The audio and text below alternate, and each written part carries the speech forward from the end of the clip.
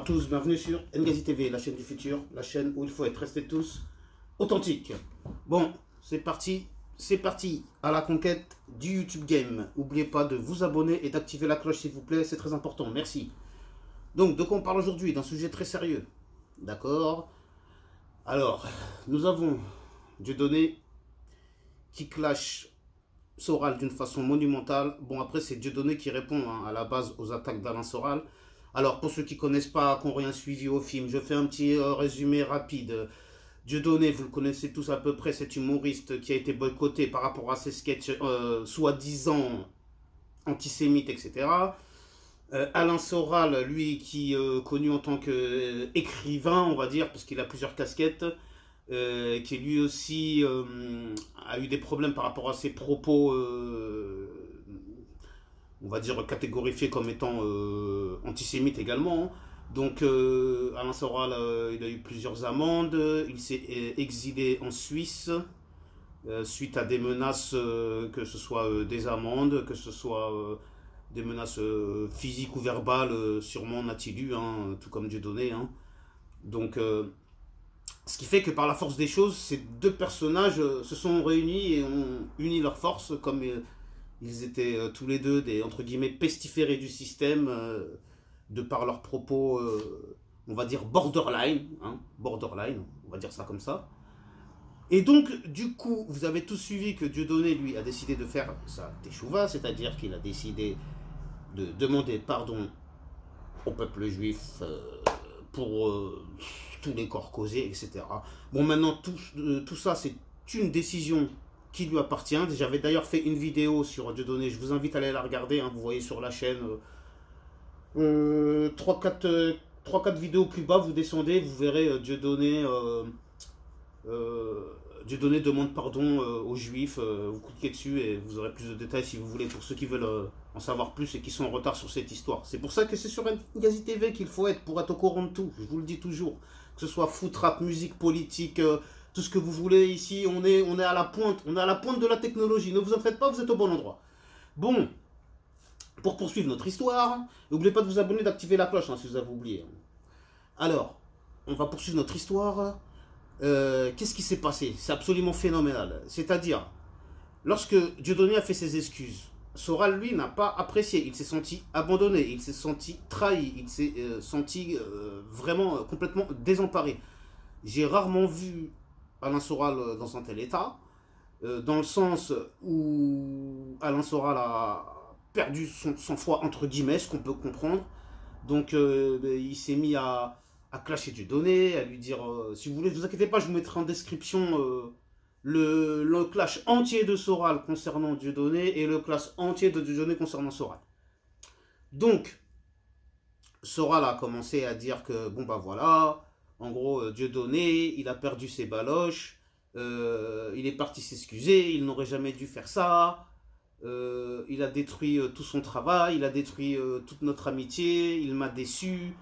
finalement, en gros, ce n'est qu'un noir comme les autres. Bon, c'est pas ce qu'il a dit, mais ça ressemble à ça. Et d'ailleurs, Dieu donné, quand il répond à Alain Soral, il, a mis toutes les punchlines où Soral désingue Dieudo. Hein. Euh, et, c'est pour ça que Dieudonné explique dans sa vidéo qu'il était obligé de répondre à Alain Soral. Et euh, attendez, je vous rassure, il a sorti du lourd. Alors restez bien assis parce qu'il y en avait tellement, je ne sais pas si je vais me rappeler de tout.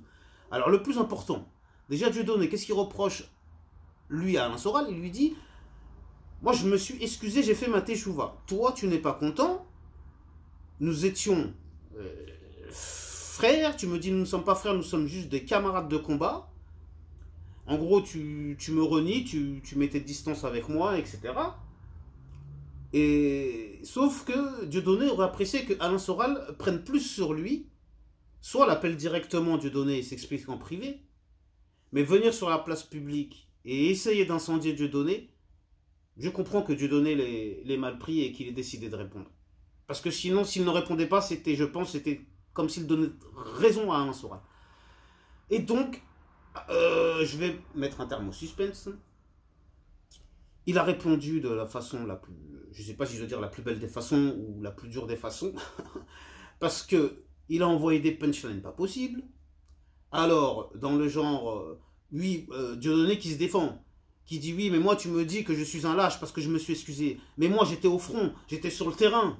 Je ne suis pas parti de la France, je ne suis pas parti m'isoler, m'exiler en, en Suisse comme un loser, comme tu l'as fait toi-même, Alain Soral. Tu m'as, tu t'es moqué de moi lorsque, euh, en disant que je fais des, spectacles dans les bus. Ça, c'est Dieudonné hein, qui s'adresse à Soral. Et Dieudonné lui dit, mais tu étais bien content que lorsque tu devais payer tes amendes, avec justement l'argent du spectacle de mes bus, je te donnais de l'argent pour t'aider à payer tes amendes.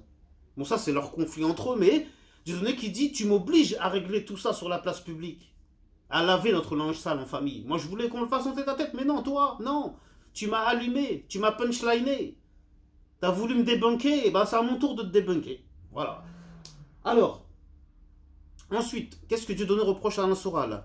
Euh, Il lui reproche euh, aussi, euh, notamment, un moment, je sais pas, il parle d'une moto à 100 000 euros, et Dieudonné qui dit oui, mais tu te rends compte, Alain, t'as une moto à 100 000 euros, hein, je sais pas si tes donateurs euh, à qui tu pleures tous les jours la misère euh, étaient au courant que tu avais cette euh, fameuse moto à 100 000 euros, je suis pas sûr que tu aurais toujours autant de dons, etc. etc. Bon, que des punchlines dans le genre.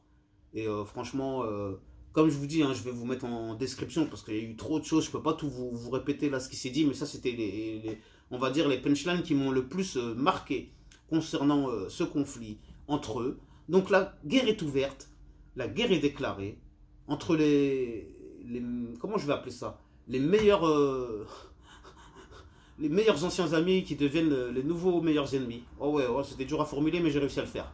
Donc euh, maintenant, que va-t-il advenir de ce combat? Je n'en sais rien. Ce sera sûrement des clashs interposés de temps en temps.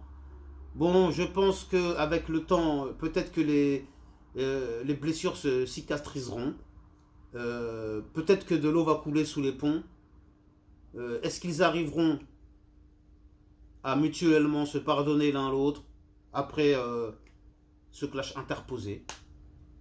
Donnez-moi votre avis en commentaire. Ça m'intéresse.